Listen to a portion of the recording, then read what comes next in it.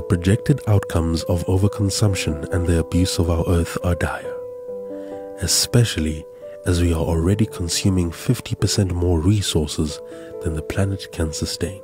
Permaculture proposes an easy solution to solve some of the mess that humanity has created for itself, such as the shortage of healthy and clean food and water, as well as the destructive imbalance our species has created on our earth and its interconnected and interdependent species.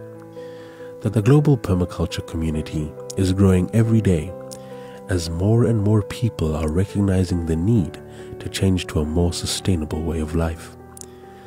This series is going to introduce us to various people who have begun this journey in and around the Makhanda region in the Eastern Cape.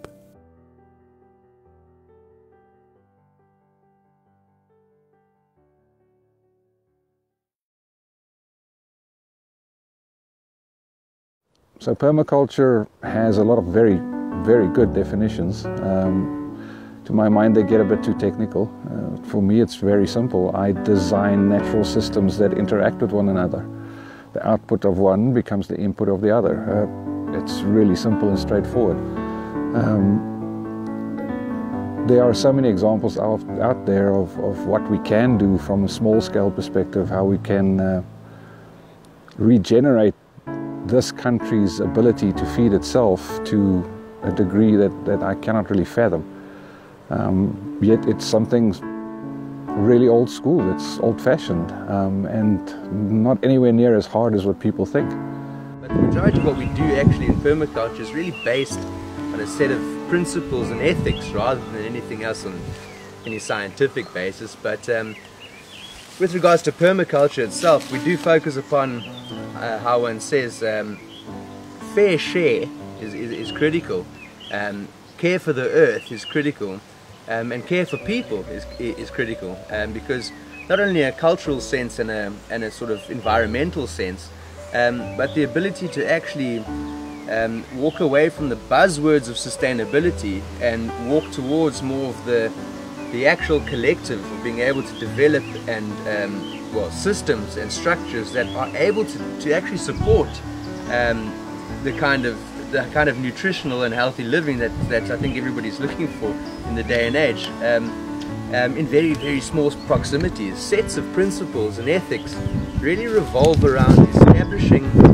um, systems and, and structures within um, a, a, an environmental setting that not only looks at the, the, the issues that we faced with this day and age, predominantly our, our, our significant water um, and energy storage crises, um, but at the self same time, a, a, hell of a lot to do with what we're talking about when it comes down to nutritional autonomy and actually being able to give ourselves what we need um, as human beings to survive.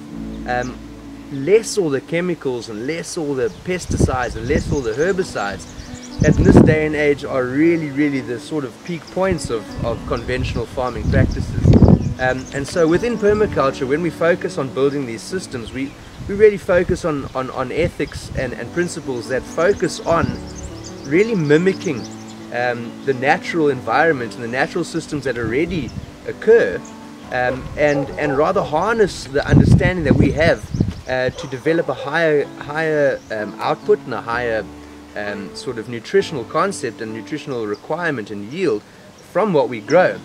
Um, and I think a lot of the time what, what permaculture focuses upon is, is really trying to bring in together um, the, the, the companionship between different natural elements within, within systems just like um, in forests, for example, you, will never find a forest unless it's been man-made or man-planted. You'll never find a forest that's only got one or two plants in it. You'll find an entire family, an entire connection between all of these different aspects of natural living. And when you start to admit and accept that these are so supportive in one another's growth and, and, and, and development, one can see that if you just take those lessons from nature and put them into a place where you can accelerate the growth of these things purely by mimicking what nature does, we begin to realize how effective these kind of practices can become.